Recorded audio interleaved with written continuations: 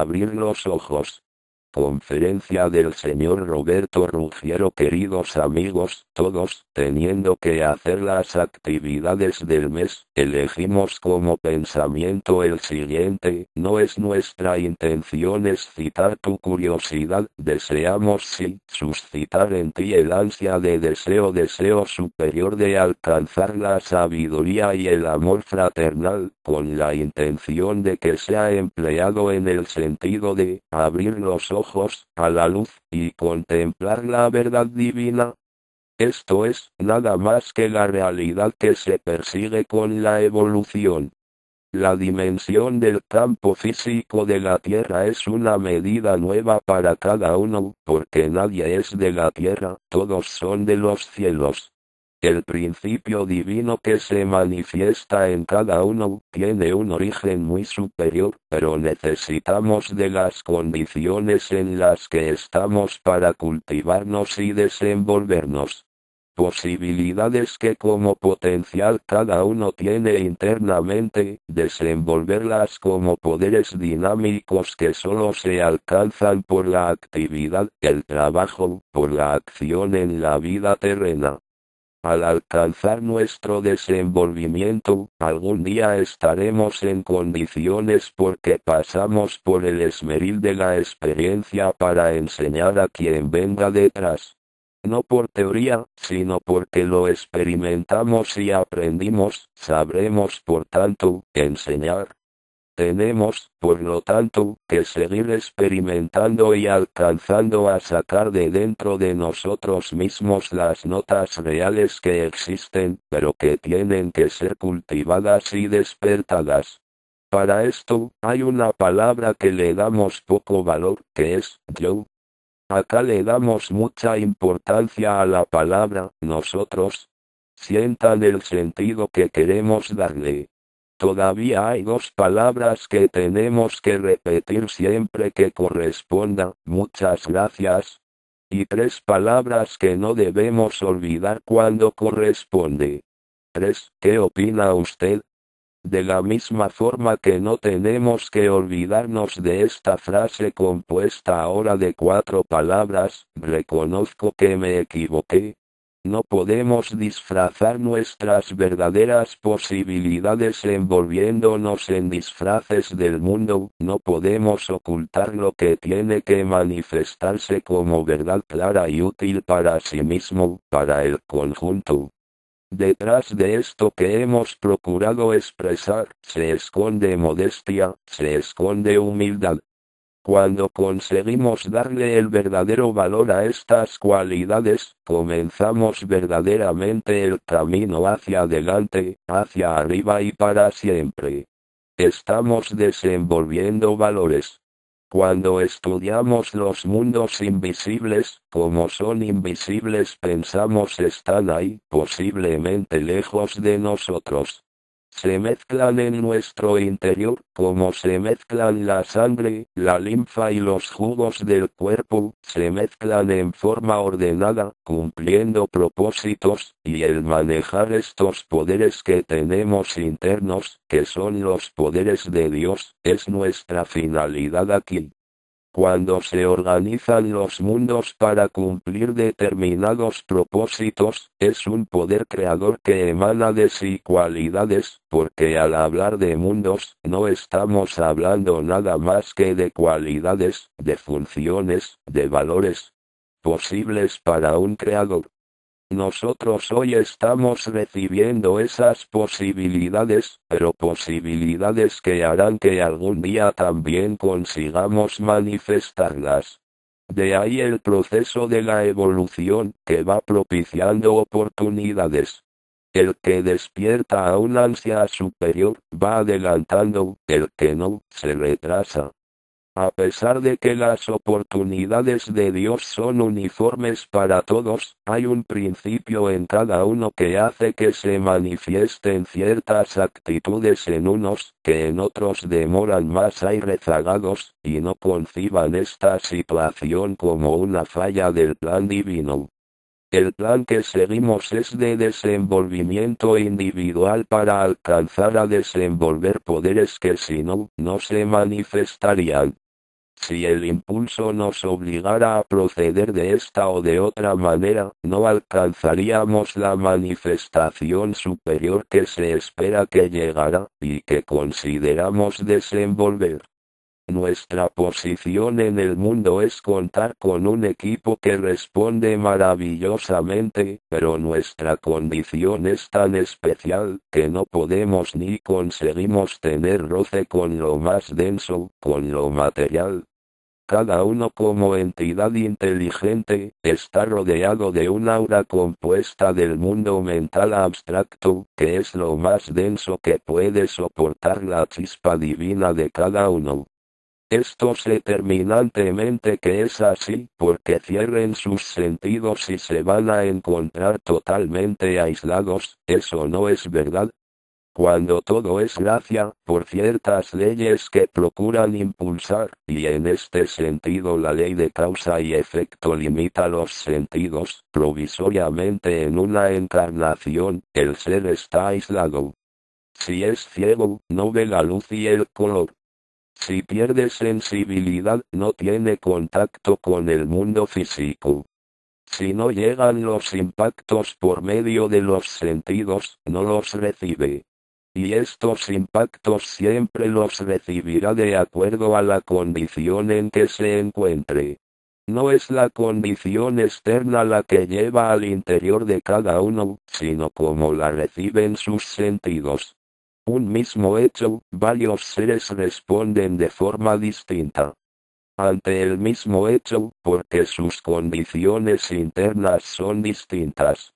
Si vemos un hecho que acontece a nuestro alrededor, por intermedio de nuestros sentidos vitalizados por el cuerpo vital, pero llega o llegamos a poder leerlo en nuestra mente, ya con el sentimiento que despertó pasando por nuestro cuerpo de deseos, y sentimos ante un hecho X, alegría, dolor, inquietud, producido por la condición en que nos encontramos, producido por la condición en que hemos cultivado nuestros vehículos internos.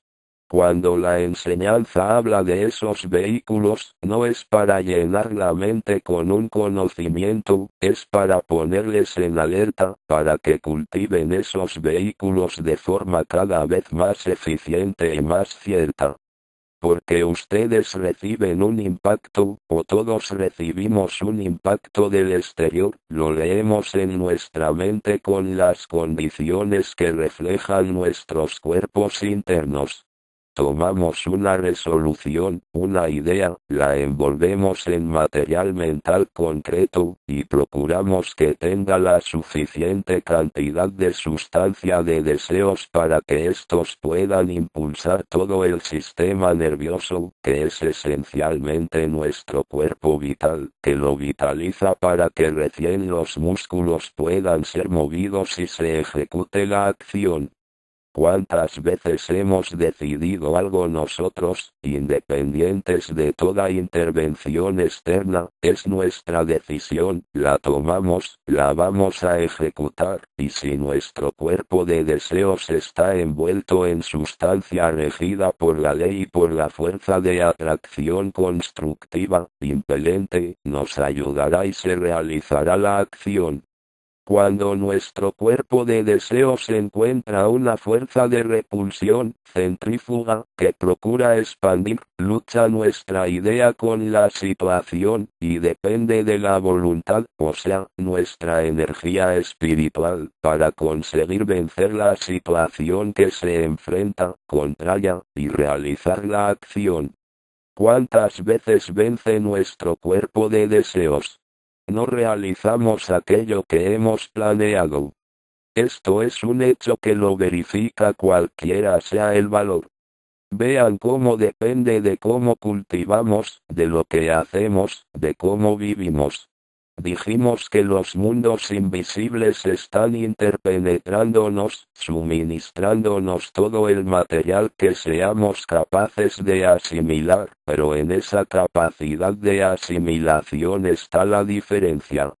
Si somos felices constructores de nosotros mismos, tendremos todo lo que nos ayuda, si no, tendremos oposición dentro de nosotros mismos. Hemos creado esas guerras que se hablan externas, que se multiplican, que sorprenden.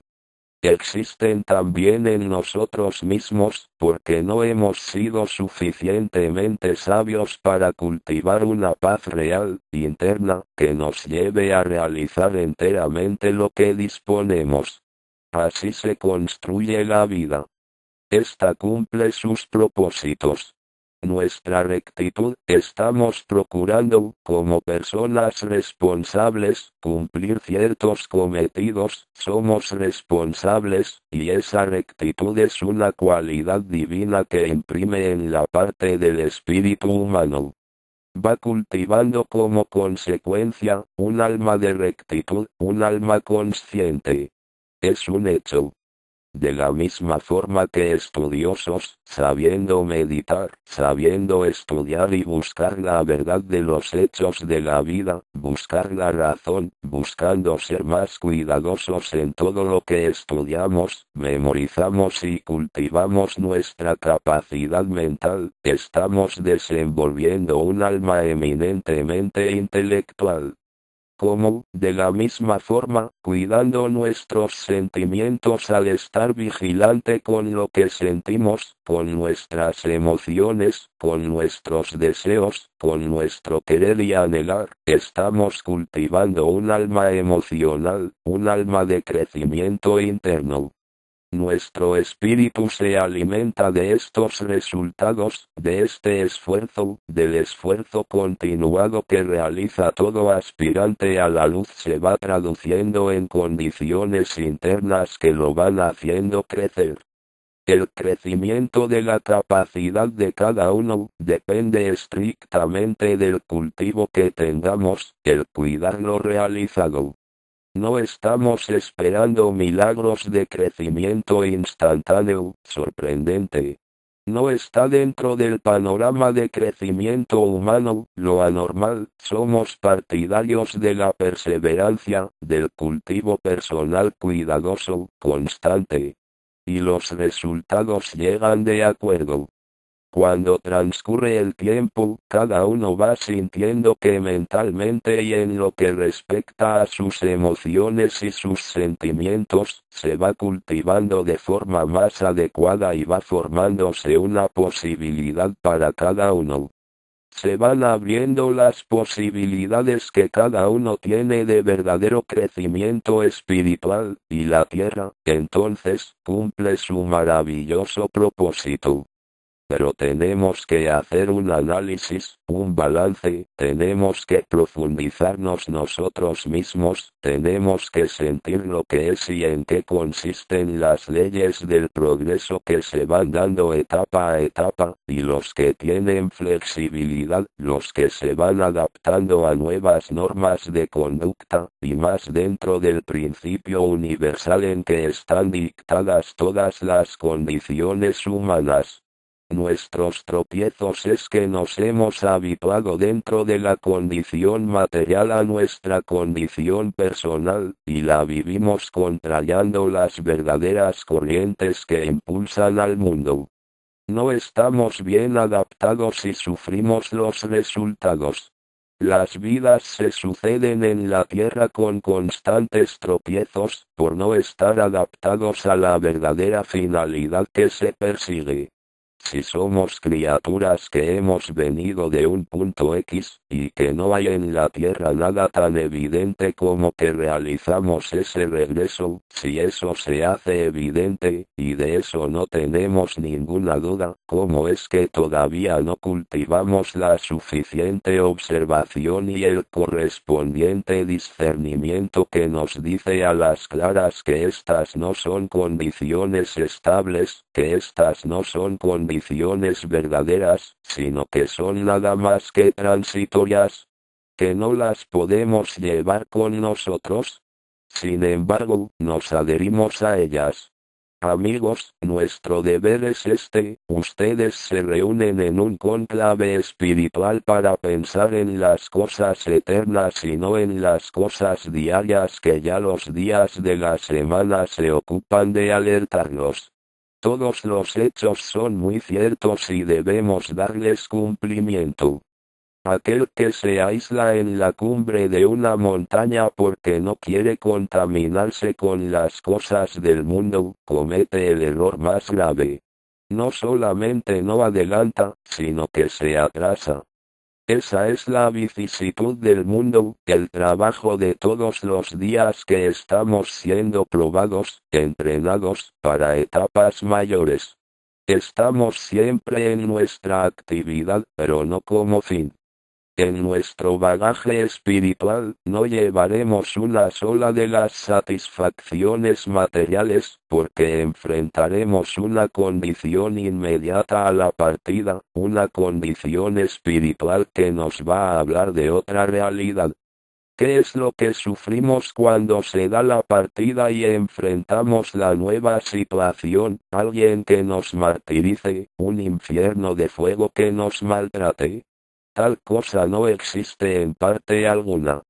Pero si nuestra capacidad que durante las horas de vigilia es activa y cierta, todavía no es nada comparada a la capacidad que recuperamos cuando nos vemos libres de vehículos que durante la etapa en la Tierra fueron muy útiles pero que en cierta forma limitan.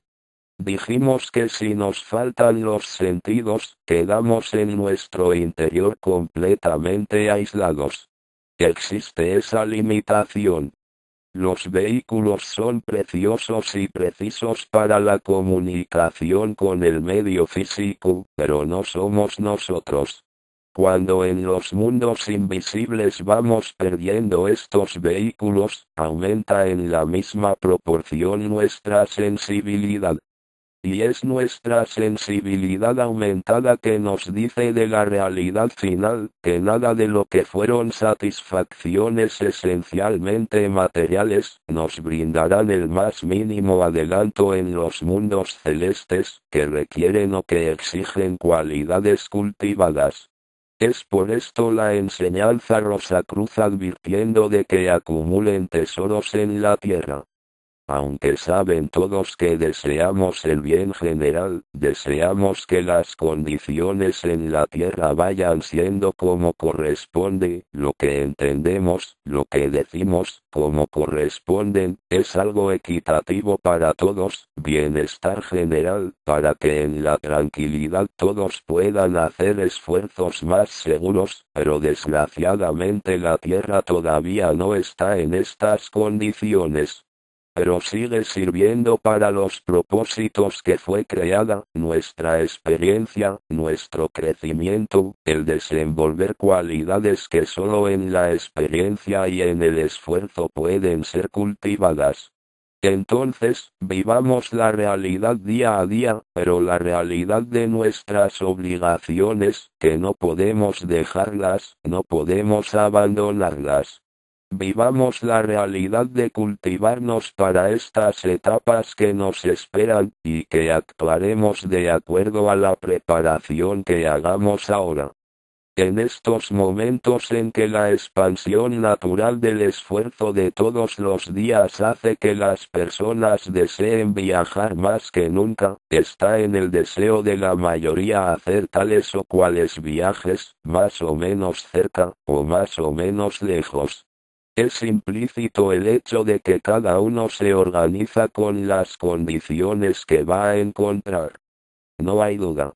Deseamos saber la lengua que se platica, a dónde iremos, las ropas que de acuerdo al tiempo tendremos que tener, y los medios para cumplir con los pagos necesarios. ¿Acaso durante el transcurrir de la vida estamos teniendo las mismas precauciones para lo que fatalmente llegará que es nuestra partida?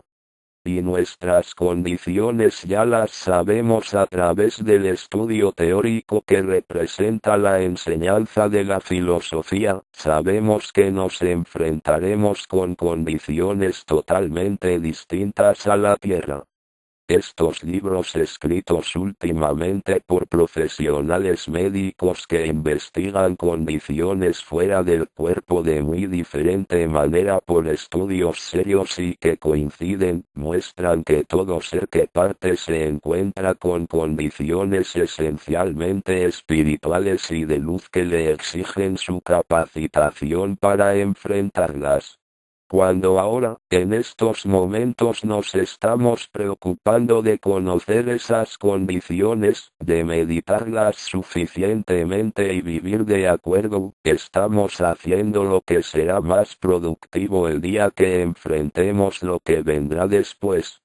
Vivamos, no cesemos de deslizar nuestra vida en forma ordenada y cumplidora, y todas las aspiraciones que tengamos de adelanto mientras sean moderadas tenemos pleno derecho de alcanzarlas pero todas ellas son nada más que medios para que en el transcurrir de las horas, de los días, y del tiempo, seamos probados espiritualmente a todo aquel que transitó por la tierra. En estos momentos, no es extraño que nos sintamos resentidos porque nos falte tal o cual cualidad o que tengamos tal o cual tendencia. Procuramos ir corrigiéndonos, aunque nos cuesta. Todo lo que se manifieste en estos momentos es por cultivo anterior. Nada es improvisado en cada uno. Cuando se quiere meditar en lo que hayamos podido ser, no tenemos más que observar nuestras actitudes y condiciones presentes, son consecuencia de un cultivo anterior. Lo que se cultivó dictará nuestro carácter, nuestro temperamento, y es lo que se llama karma. Es lo que traemos, no como una penitencia, no como una limitación, sino como un alcance de lo que hemos sido capaces de hacer y de alcanzar. Pero en estos momentos, plenos de conciencia, la conciencia activa de durante el día, plenos de responsabilidad, cultivemos los aspectos que por ventura sintamos aún negativos dentro de nosotros mismos. Hemos dado en oportunidades pasadas expansión a lo que aún gravita en contra de nuestros propósitos de crecimiento. Pero como tenemos a nuestra disposición la voluntad, que es una condición, que es una fuerza espiritual, que es una energía espiritual, vamos aplicándola en el sentido de ir moderando hasta hacer desaparecer lo que por ventura ya no nos corresponde. Entonces, sientan la vida en toda su plenitud, sientan los poderes divinos que están trabajando para que la chispa que está en cada uno se transforme algún día en una llama constructora, porque cada uno no tiene en sí esas posibilidades de transformarse en una llama que se asegura capaz de ser creadora. Lo que se asegura es algo tan extraordinariamente grande que ni repetimos, pero que cada uno tiene que sentir, darle el verdadero valor y procurar ser digno, para que sea posible. Los que instruyen los mundos celestes al dar una enseñanza filosófica nueva en la tierra, como es la filosofía Rosacruz, teniendo épocas nuevas que ya vienen, Acuario, con su influencia de Urano, va a hacer una vida en la Tierra más activa, más dinámica, y la enseñanza es justamente para que los que sientan el deseo de ponerse en condiciones, comiencen desde ahora, porque nada en lo espiritual es repentino, sino que para que sea cierto tiene que ser esencialmente gradual. Entonces, se despliega delante del estudioso todas las posibilidades, para que cuidadosamente las vayamos cultivando y seamos capaces de alcanzarla. Cuando despertamos dentro de nosotros sentimientos amigos, sentimientos nobles, sentimientos fraternales, existe el movimiento del que así siente algo que ninguna paz se le puede igualar. Todo triunfo mundano es efímero. todo lo que es material hay que renovarlo permanentemente, pero lo que es espiritual perdura, y da una sensación interna que solamente se puede alcanzar en ese sentido o con esa conquista. Hemos vivido demasiado para nosotros mismos. Tiene que comenzar una reacción lenta pero sabia en un sentido más universal porque las leyes nos están guiando, que nos trajeron a las presentes condiciones, son universales y jamás personales. No existe ninguna ley que sea para un individuo, la ley es para todos.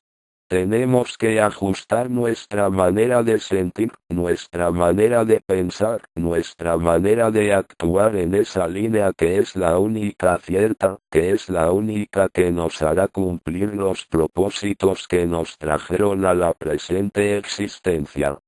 El proceso para volver siempre es consecuencia de palabras sabias emitidas por seres de gran amor y gran sabiduría que nos expresan nuestras posibilidades, que nos explican nuestras necesidades, que nos van indicando en la forma que tenemos o las posibilidades que se nos pueden brindar para nuestro crecimiento palabras que las sentimos tan sabias, llegan tanto a nosotros que la consecuencia es que aquí estamos todos de vuelta, una y otra vez, a pasar por las experiencias de la tierra, porque sabemos que esas inspiraciones nos guían para el bien.